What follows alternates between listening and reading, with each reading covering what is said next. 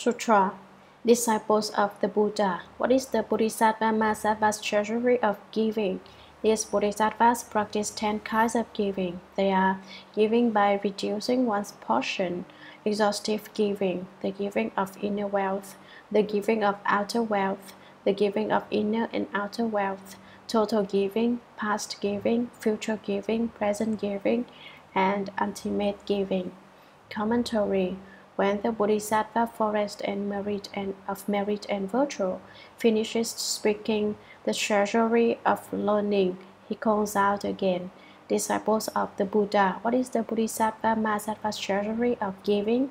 Among the greatest of Bodhisattvas, what is the treasury of giving that they practice? Then he follows with an explanation. These Bodhisattvas practice ten kinds of giving. The Bodhisattvas who practice the ten inexhaustible treasuries also cultivate ten kinds of giving. They are giving by reducing one's portion, exhaustive giving, the giving of inner wealth, the giving of outer wealth, the giving of inner and outer wealth, total giving, past giving, future giving, present giving, ultimate giving. Each of these is explained in detail in the following passage of text. Bodhisattvas practice giving. Some people who have never heard the sutras explained don't know what a bodhisattva is. What is a bodhisattva? He is an enlightened sentient being who enlightens the sentient beings. What is a sentient being? All those with blood and breath are said to be sentient. Things without blood and breath are said to be insentient. Bodhisattvas are those who enlighten all those with sentience. They are also sentient beings that are enlightened. Among living beings, there are those that are enlightened. Originally, they are they too are living beings, but they have become enlightened. As to enlightenment, there is self-enlightenment, enlightenment of others, and the perfection of enlightenment and practice. Self-enlightenment means that one has become enlightened oneself. This refers to those of the two vehicles, that is, sound hearers and those enlightened to conditions. Sound hearers are those who, upon hearing the voice of the Buddha, the sound of the Buddha, awaken to the way. They cultivate the Dharma of the Four Holy Truths, suffering, accumulation, extinction, and the way. One enlightened to conditions is also called a Pratyeka Buddha. He cultivates the travelings of conditioned co-production and awakens to the way. The travelings are ignorance conditions activity, activity conditions consciousness, consciousness conditions name and form, name, name and form conditions the six entrances, the six entrances conditions contact, contact conditions feeling, feeling conditions love, love conditions grasping, grasping conditions having existence, having existence conditions birth, birth conditions old age, and death. These are the 12 links of conditioned co-production. If ignorance is extinguished, then activity comes to an end. If activity comes to an end, then consciousness is extinguished. If consciousness is extinguished, then name and form are extinguished. If name and form are extinguished, then the six entrances are extinguished. If the six entrances are extinguished, then contact is extinguished. If contact is extinguished, then feeling is extinguished. If feeling is extinguished, then love is extinguished. If love is extinguished, then grasping is extinguished. And when grasping is extinguished, then existence is extinguished.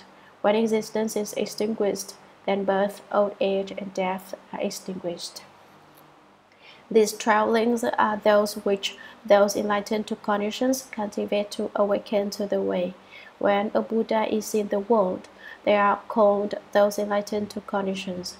When there is no Buddha in the world, they are called solitarily enlightened ones. So, cultivators who enlighten themselves are those of the two vehicles.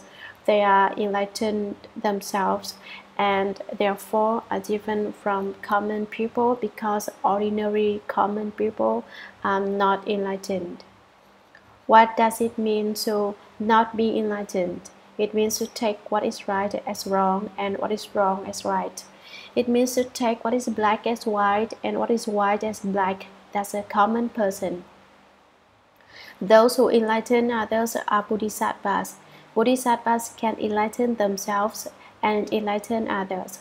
A fully enlightened one is a Buddha who is complete with the three kinds of enlightenment. That's a brief explanation of the meaning Bodhisattva. The giving which a Bodhisattva practices is of three kinds the giving of wealth, the giving of Dharma, the giving of fearlessness. Wealth refers to all of one's valuables. Outwardly, it refers to one's country, cities, wife, and children, all of one's most precious gems. Inwardly, it refers to one's head, eyes, brain, and marrow.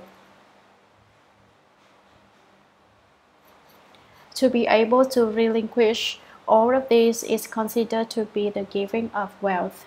The giving of Dharma means to speak Dharma for living beings.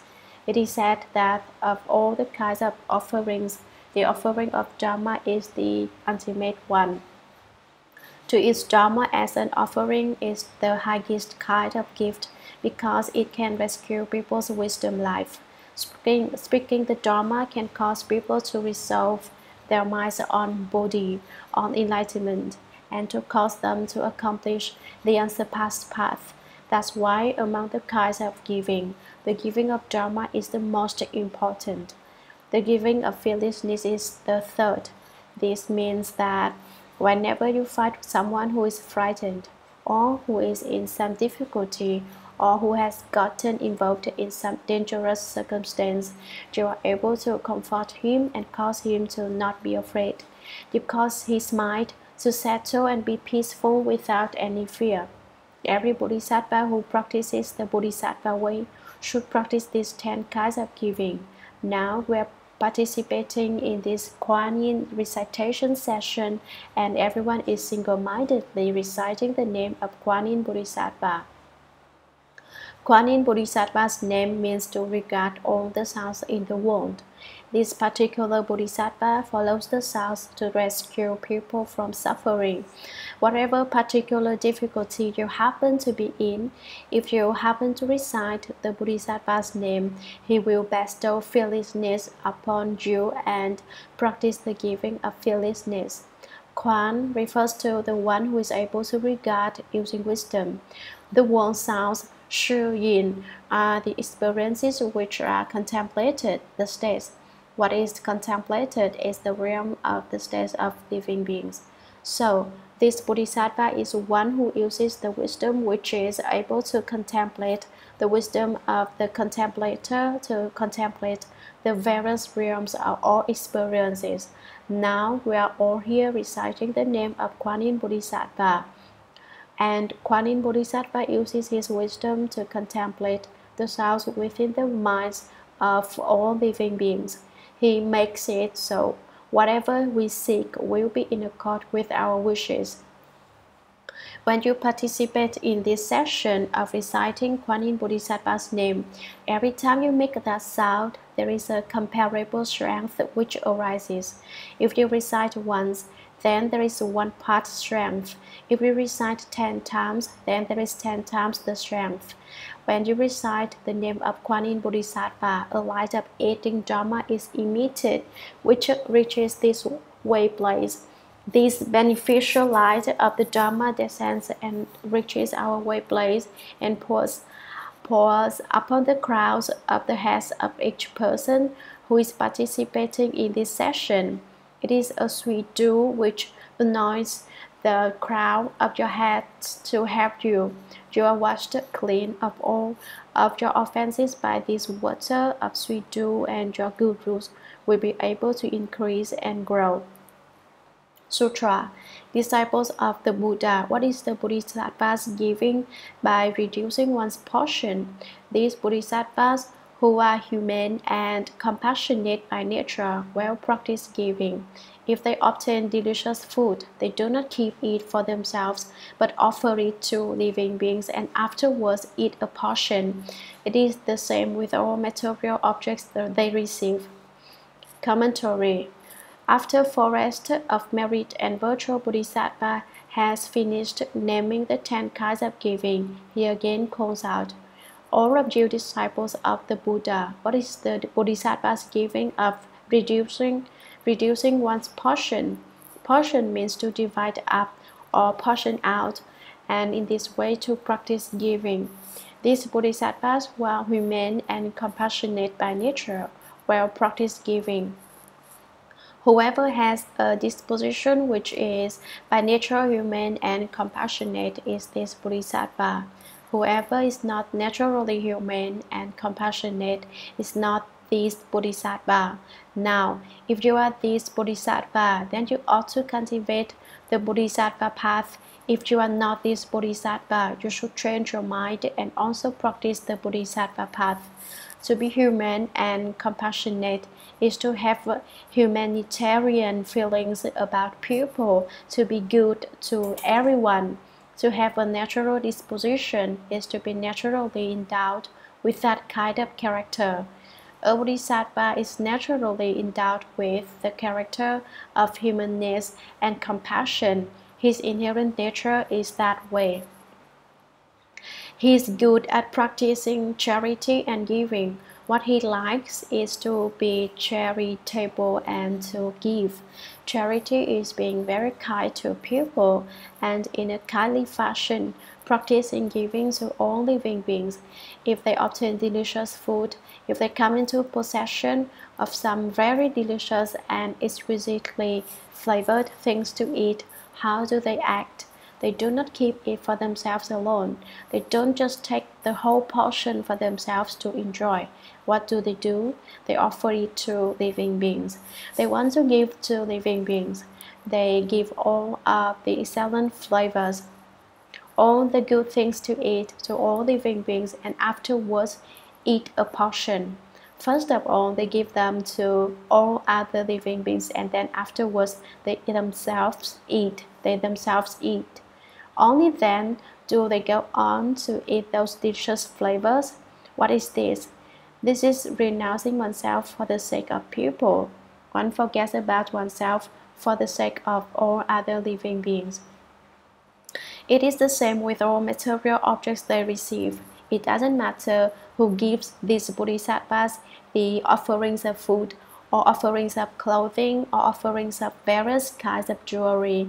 It's all the same way. They act just the same way as when they obtained all the excellent flavors.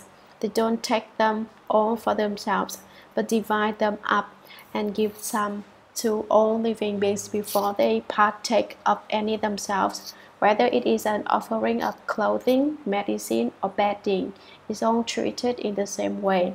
So, all of you think about this.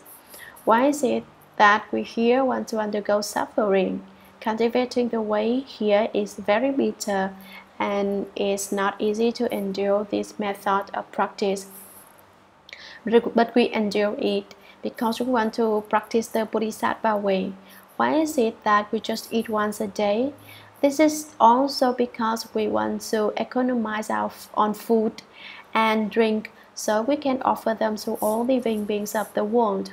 It's for this reason that we undergo a little discomfort and thereby enable other people to be full and warm. That's a very good kind of practice. Therefore, now as the Avatamsaka Sutra is spoken, all of you should reflect upon what it says. We are here practicing the Bodhisattva path this means that we want to take what we eat and drink and make an offering of it to the living beings of the world. This is an extremely big hearted matter.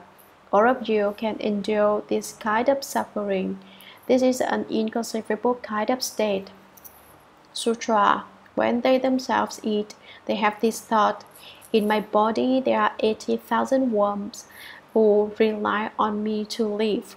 When my body is full and content, they are full and content.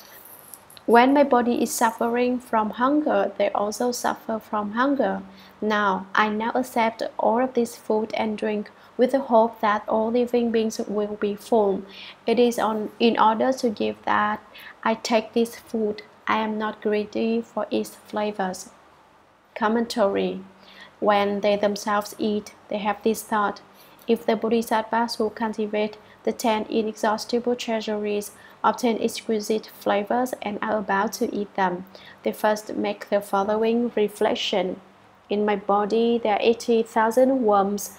Within my body there are 80,000 bugs. We people are big bugs. A human body is comprised of a lot of little bugs, and in the little bugs are numerous microorganisms. Basically, our bodies are just one big collection of bugs. People who don't understand this consider their bodies to be extremely valuable. For the sake of the body, one seeks good things to eat, good things to wear, and a comfortable place to live. Every day, one spends all of one's time looking after oneself, but you don't know that your body is just a whole lot of small bugs congregated together to make up one big bug. In every single one of your hair pores, there are gathered a lot, a whole lot of bugs. The Bodhisattva reflects that the 80,000 bugs dwelling within his body are those who rely on me to live. All of those bugs rely on me to survive. When my body is full and content, they are full and content. If my body is happy and full and not hungry or thirsty, all the 80,000 bugs are also full and happy. All of those bugs also have food, they have things to eat and so they are all happy and feel really fine. But when my body is suffering from hunger, they also suffer from hunger. If my body is hungry, then they also suffer from hunger. All of those bugs in my body are also without anything to eat. If I don't have anything to eat, they also go hungry. I now accept all of this food and drink with the hope that all living beings will be full. It is for that reason that I eat these things, such as drinking a cup of tea, or maybe eating a piece of fruit, or maybe drinking a glass of milk, or maybe eating some cheese. But as to cheese, you ought to know all of you Americans like to eat this, but Chunghua, Chinese people really don't like to eat cheese. When Chunghua, Chinese people see cheese, especially French cheese, which stings to high heaven, they pluck up their noses, not even to speak of eating it, they won't even smell it.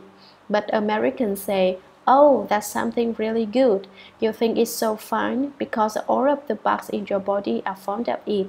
They've developed a taste for it. This is called getting together with a stench and liking it. The Bodhisattva reflects I now want to cause living beings universally to be full. It is in order to give that I take this food. When I eat and drink all of these things, I want to I want all living beings also to be full of them. It's for their sake that I eat. I ju it's just because I want to portion out this food and give it to all of those 84, uh, 80,000 bucks that I eat and drink these things. However, I am not greedy for its flavors, and so it's not for oneself that one eats the trees, and not out of greed for its flavor, but rather it is for the sake of all of these 80,000 bucks. One does not become greedy for any flavor, whether it's good or bad, stinking or delicious. When you come right down to it, it's the bugs who like to eat it, so I give it to them to eat. Sutra, they also have this thought.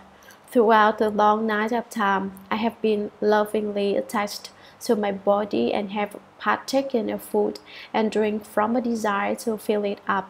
Now I use the nourishment from this food as a gift to living beings and vow to eternally cut off greed and attachment with regard to my body. This is called giving by reducing one's portion commentary, they also have this thought. These bodhisattvas also strike up false thinking. They strike up false thinking about living beings and say, Has this living being gotten to the point that I should rescue him? How is that living being doing? Have we have this his body sprouts come up yet? The Bodhisattvas also strike up false thinking, but it's not the same kind of false thinking that we have. At all times, is for the sake of teaching living beings. Throughout the long night of time, I have been lovingly attached to my body. During the dark and obscure night of time, what I have loved most was my body. My biggest attachment has been this body of mine. I was afraid of um, afraid my body would be cold, hungry, thirsty, or too hot. In every time and every place, I was always taking my body into consideration. I was always taking good care of it, considering it more important than a precious gem and taking this body as a really fine thing. But if you go without a bath for a couple of days, your body stinks unbearably. What's so good about that? No matter how good it looks to you, it's just like taking the most beautiful clothing and adorning a toilet. Everyone really knows, no one has to be told that inside the body there are things that stink. The Bodhisattva also loved and was attached to his body, so he didn't become a Buddha. The Bodhisattva continues to reflect, and in order to make my body healthy and have the comfort of being full, I have partaken of food and drink from a desire to fill it up I have accepted this food and drink. Now I use the nourishment from this food as a gift to living beings. I universally bestow all of this upon all of the 84,000 small bugs in my body and vow to eternally cut off greed and attachment with regard to my body. I want to once and for all cast out greedy love and attachment. This is called giving by reducing one's portion. The Bodhisattva practices giving his portion, cutting down on the amount he uses or not using his portion at all in order to give it to other beings. Sutra What is the Bodhisattva's exhaustive giving? Disciples of the Buddha, these Bodhisattvas obtain all kinds of supremely flavored food and drink fragrant flowers, clothes, and provisions of life. Were they to use these things themselves, they would be peaceful, happy, and long lived. If they deny themselves and give to others, then they will be poor, miserable, and die young. Commentary What is the Bodhisattva's exhaustive giving? Just prior to this, we talked about giving by reducing one's portion. Now we come to the second kind of giving, exhaustive giving. What is the exhaustive giving of a great Bodhisattva, disciples of the Buddha? Forest of merit and virtual Bodhisattva speaks out and says, These Bodhisattvas obtain all kinds of supremely flavored food and drink. These Bodhisattvas have somehow come across a great variety of superbly flavored food and drink, also fragrant flowers, clothes, and provisions of life, things that are able to sustain the lives of humans. Were they to use these things themselves, they would be peaceful, happy, and long lived. They would have a peaceful and calm existence, and their years would increase. If they deny themselves and give to others, then they will be poor, miserable, and die young. They will compound their sufferings and shorten their own lives. What should they do? It is explained below.